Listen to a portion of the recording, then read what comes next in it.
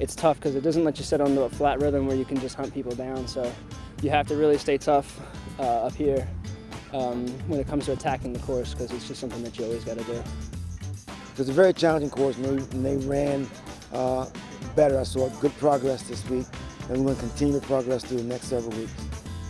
Just wanted to go out and have a nice hard run and um, just we try to develop and progress every single meet that um, the meet before the last meet before will be the best one until the next meet. So it's going to be good to work out here, not only just race here, but like hopefully we can get some good workouts here um, in between here and SECs.